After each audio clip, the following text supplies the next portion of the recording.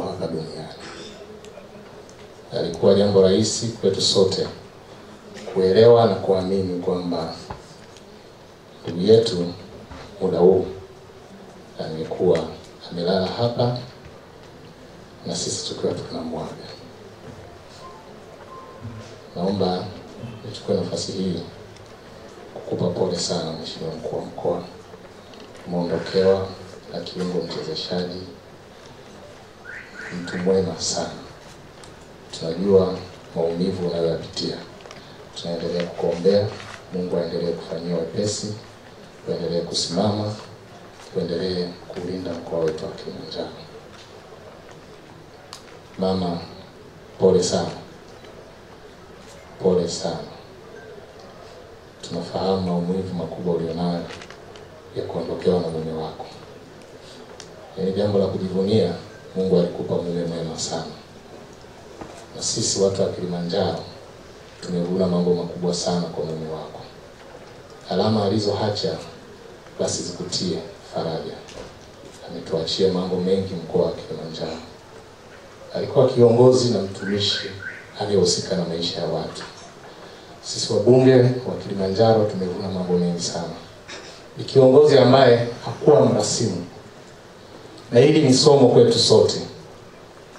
Ni mtu aliyekuwa anatafuta majawabu, ni mtu aliyekuwa anasukuma hatua ziende mbele, na mimi imekuwa nikimsumbua sana. Wakati wote unampigia simu, unamwambia basi, niko hapa tamiseni wameniambia wanataka uthibitisho wa barua kutoka kwako. Anakwambia subiri hapo hapo, mwambie mkurugenzi aandike, alafu tunakutumia. Unasubiri, barua inakuja. atufanyia mambo mema, atufanyia mambo makubwa. Mimi binafsi mara ya mwisho niliwasiliana naye kumwomba barua ya uthibitisho ya ujenzi wa shule ya Matakero, simu moja tu, ambie mkurugenzi aandike barua, alete, tupatie barua. Si kawaida sana kupata mtu wa aina hii kwenye utumishi wa umma. Kwetu sisi ni somo.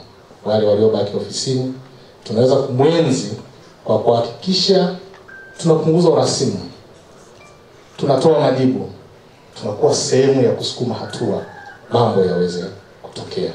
Kila jambo ambalo mimi binafsi nilimshirikisha halikukosa majibu kwa wakati. Kwa hiyo mama, jivunie maumivu ulionayo. Sisi watu wa Kilimanjaro ametuachia alama. Ulikuwa na mume mwema sana. Watoto, mshukuruni Mungu, baba yenu alikuwa mtu mwema sana, lakini mnaye mtetezi ambaye ni Mungu wetu. Yeye ni baba wa yatima, yaani yeye ni mume wa wajane.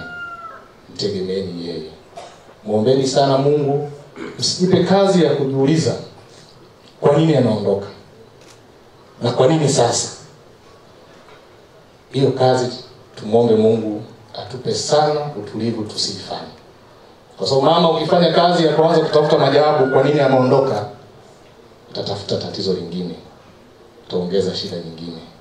Itoshe useme Bwana alitwaa na Bwana ametwaa, jina lake lihimidiwe.